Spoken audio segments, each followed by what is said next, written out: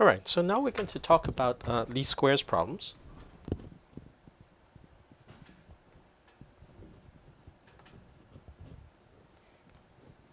Okay, so let's consider a general uh, linear system.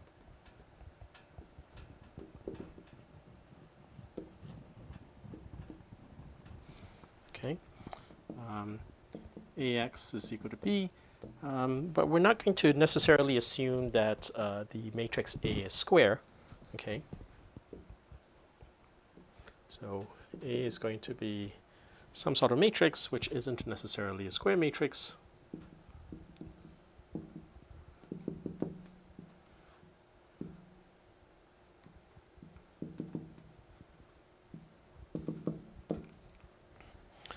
Then uh, x is a vector of unknowns, as is usually the case.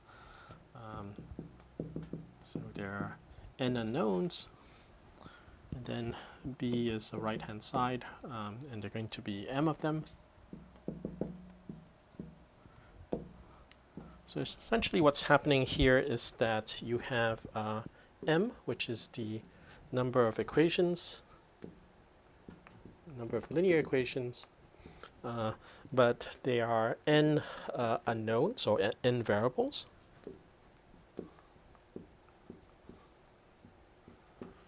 Okay. So let's uh, say something a bit, um, say a little bit about the solvability conditions for this.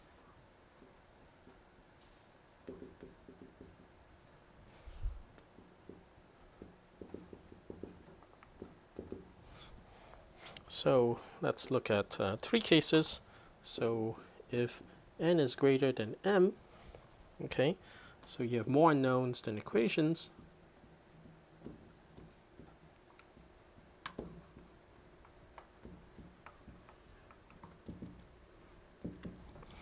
Right, then the system is uh, what's called underdetermined.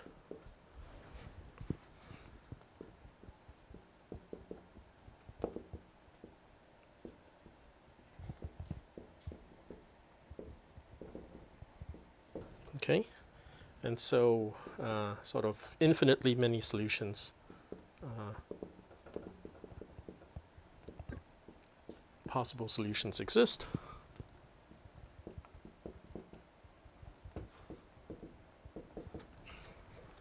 And so, uh, um, so we can't really solve this. Um, most of what we've seen so far uh, has been the case where n is equal to m. Okay, then uh, as you know, there is a unique solution if uh, the matrix A is invertible.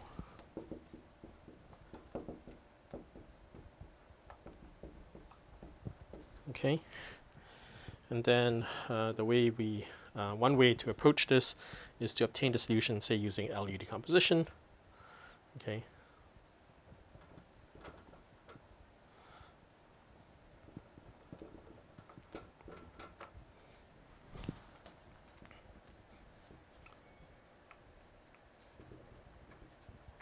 Um, possibly with pivoting, right? So, um, so even if A is invertible, it's not always the case that you can do LU. It's like without uh, some sort of pivoting. Okay, um, so let's look at the third case.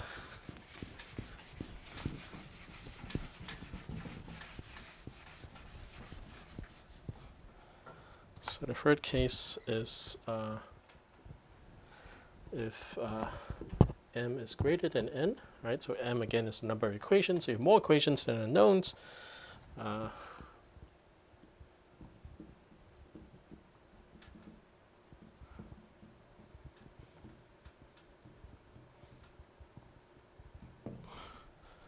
So, uh, so in general,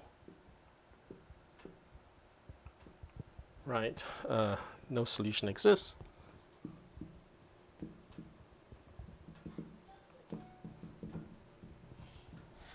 Um, and then the question is, uh, is there something we can do in this case, right?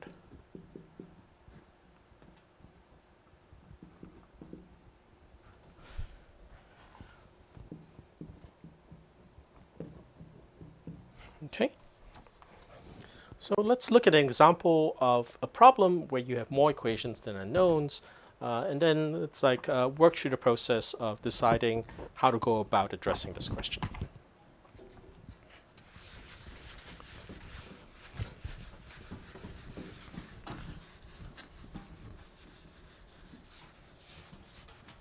Okay, so let's consider the following problem.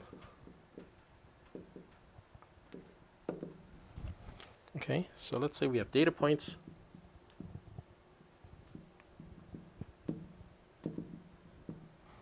Um, x1, y1, all the way up to uh, xm, ym. Okay, and so let's say the following. So the data is noisy,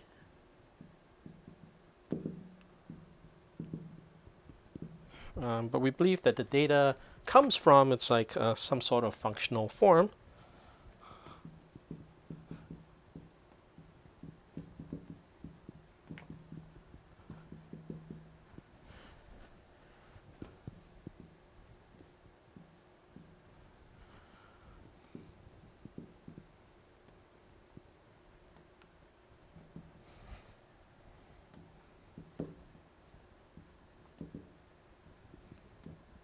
what I mean by this uh, possibly is that maybe the data satisfies some sort of linear polynomial exponential relationship, for example, right?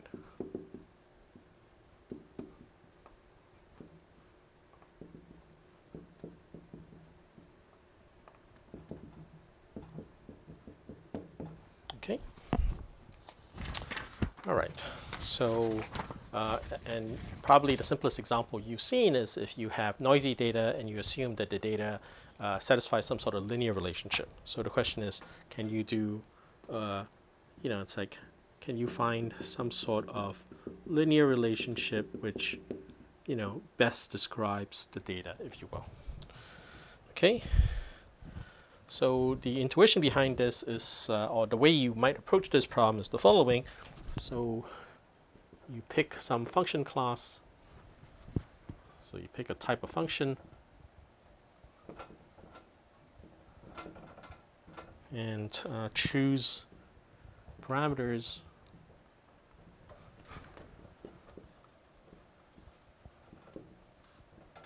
to minimize the distance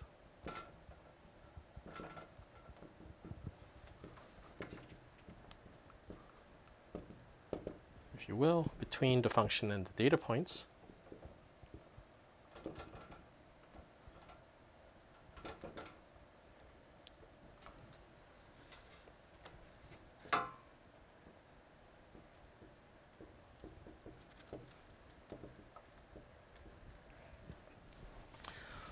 So let's look at an example of something like this. Okay.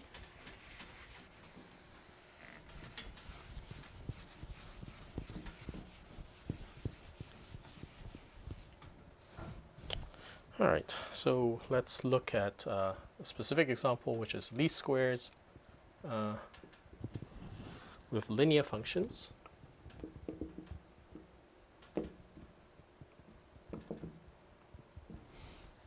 Okay, so you have the following data. Okay, again, a pair of points.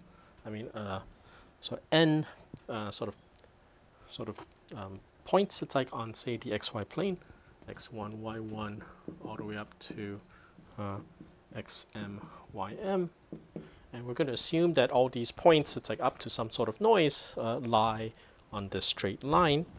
So I'm going to assume that uh, y is some a0 plus a1 times x. And I'm trying to find the best a0 and a1 uh, for the data which is given to me. Okay? All right, so, so we know the following. So if there was no noise whatsoever, right, then I could find an A0, A1, it's like such an A0 and A1 such that every one of these m points, it's like satisfies the relationship yi is equal to A0 plus A1 xi, right? So uh, if the data was exactly linear, then what happens is that uh, yi is equal to a0 plus a1 xi for i going from 1 to m. Okay? Um, so I can write that um, condition uh, as a system of linear equations. Well, it is a system of linear equations, so I can write it in this kind of matrix vector product form. So, so let me go ahead and do that. All right, so I want to write this as some sort of A matrix times the unknown vector A0, A1 is equal to the right-hand side. Okay.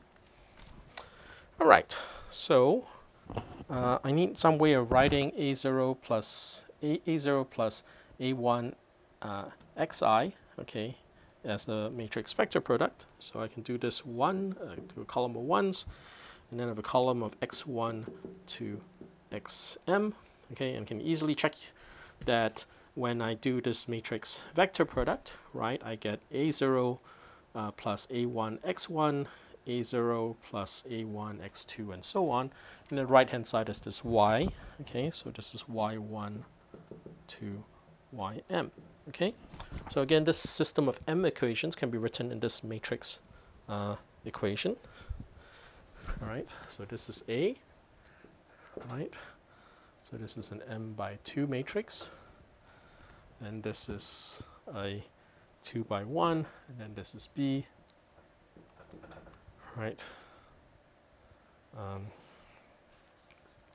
which is an m by 1 matrix okay so again you have a situation where the number of equations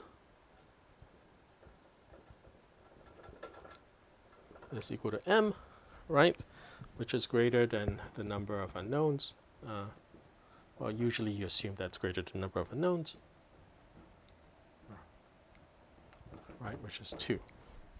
Okay, so the system is overdetermined.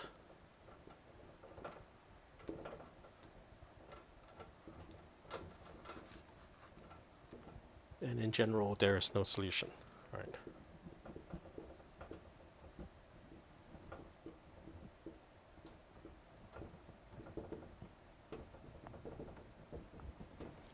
Um, of course, I say in general because it could so happen that you have no noise whatsoever, right? And in which case, you know, all the points which you have, it's like lie on the line, and, and there's, a, there's a single line which uh, fits perfectly. It's like um, over the data, right?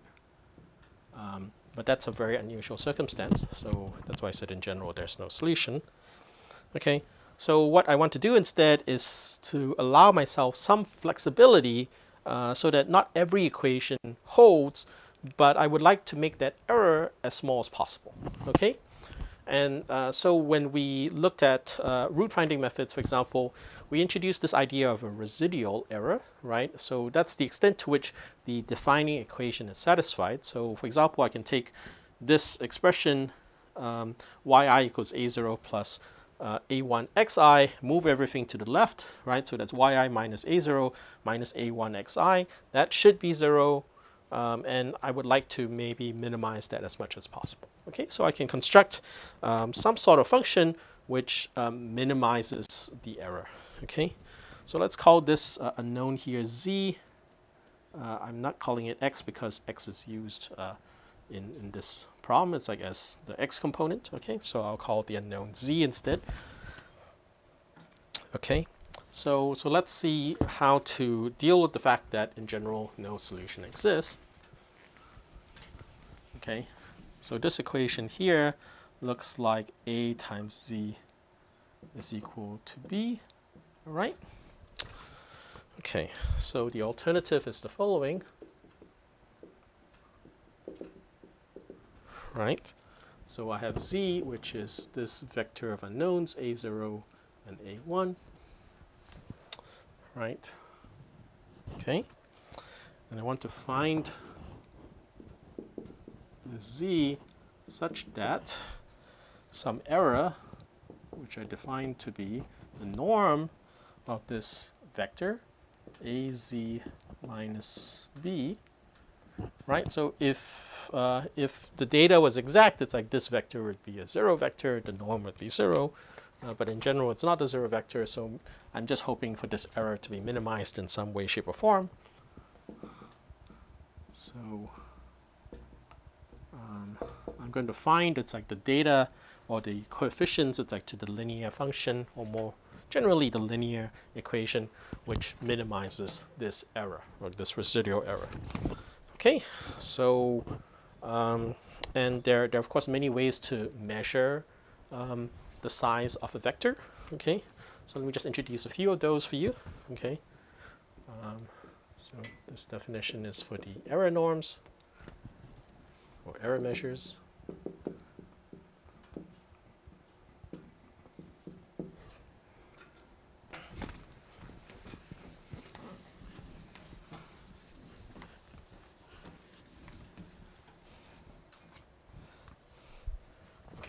There's the first one is the um, infinity norm. Okay, so E is the max um, over I of yi minus uh, a0 plus a1 xi. Okay, so um, so what's happening here is that you have this line and you have the data, right? And what's happening is I'm measuring this distance uh, between, so this is sort of the EI, right? It's uh, sort of like the component of this vector. Um, it's the distance between the actual data point, the y value, the actual data point, and what was predicted, it's like by the regression line. Okay. Um, and I'm going to maximize over all the data points to see what is the largest error. Okay, so this is called the infinity norm. It's one possibility. The second one is the one norm. The error is equal to the sum from i equals 1 to m of the absolute value of the uh, components. Okay, and then perhaps the most common one is the 2 norm, uh, sort of squared. Right, which is uh, the sum from i equals 1 to m of the square of the error.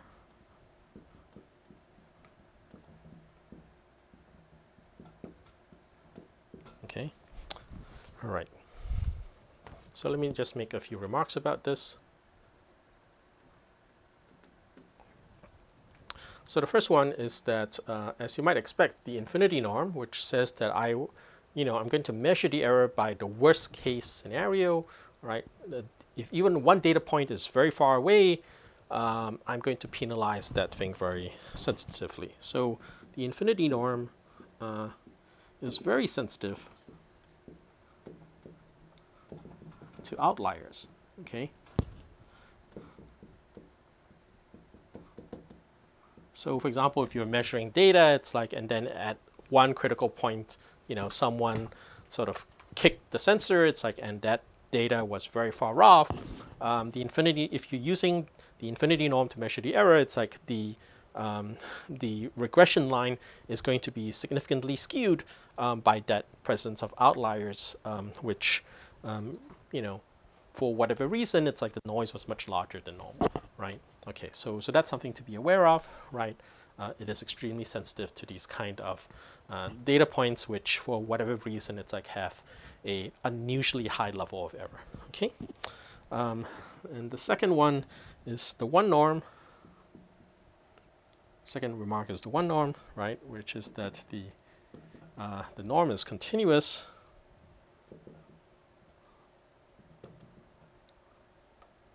But uh, not differentiable at zero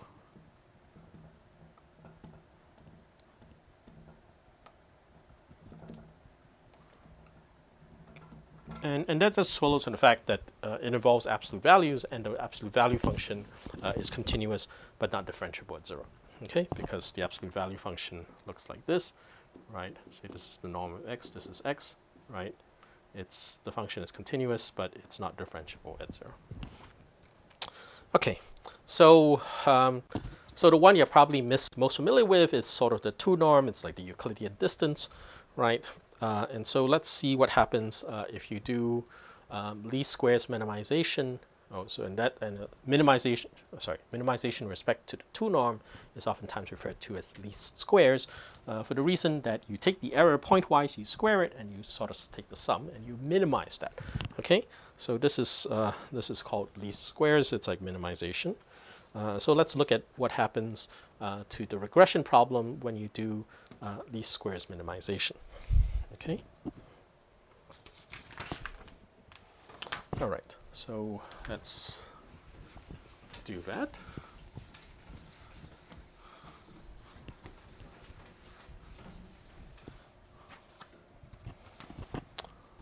So I want to minimize the two norm okay, with respect to A0 and A1. So I'm going to choose A0 and A1 so as to minimize this least squared error. Okay, so the first order of business is to write down the least squares or the square error, right? So E is the sum from i equals 1 to m of yi minus a0 plus a1 xi, sorry, squared. Okay, so in order to minimize this, I'm going to um, use the fact that um, if the minimum is in the interior, uh, then the derivative, the partial derivative with respect to the parameters uh, vanishes. Okay, so I'm going to take the partial derivative of this error function with respect to a0.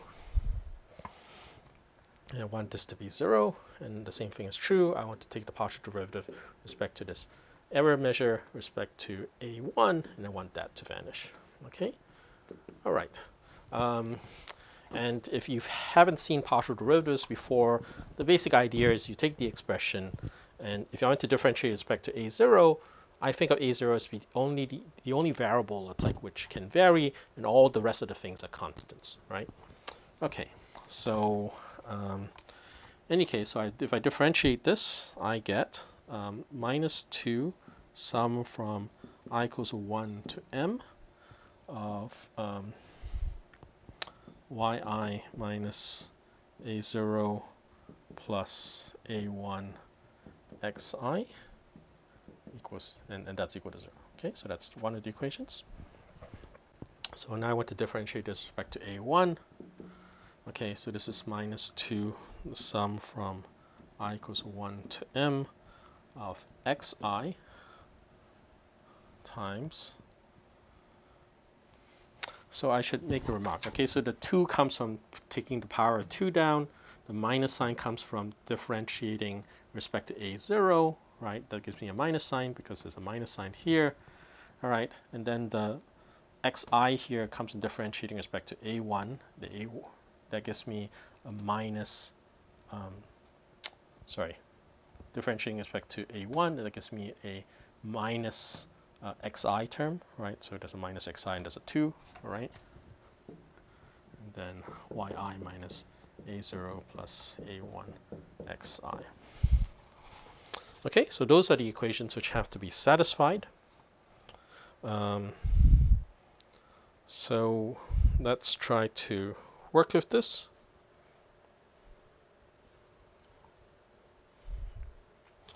I'm going to um,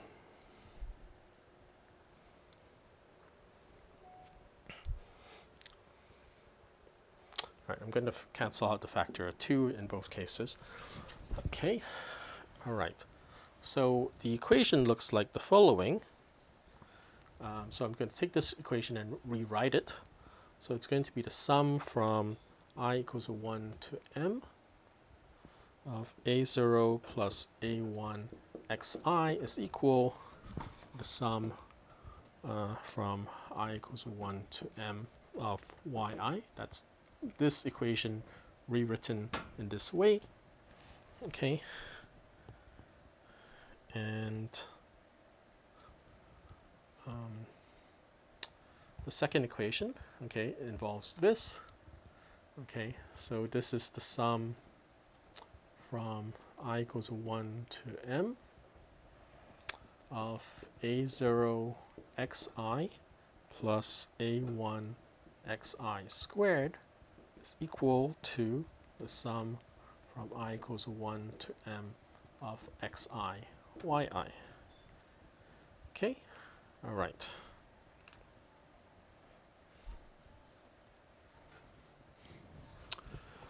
So I can simplify these two equations a bit more. Right, so this is, um, um, okay, so I'm going to try to get rid of the sums, or, well, what I'm trying to do is I'm going to try to isolate the A0s and A1s so it's clear what equation they satisfy. So this is A0 times M, right, because there's a sum of A0 M times, so that's A0 times M.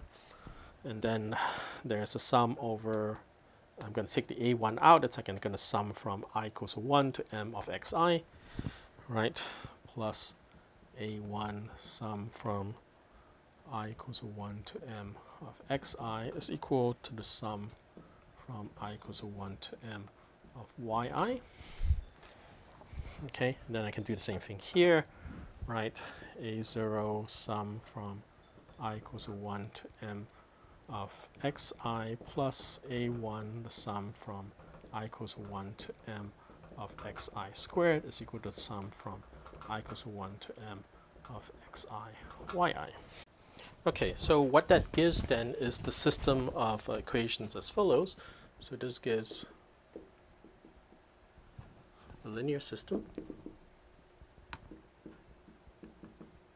which is of the form, uh, it's a 2 by 2 system so m sum over xi, sum over xi, sum over xi squared, uh, a0, a1 is equal to the sum of yi, sum of xi, yi.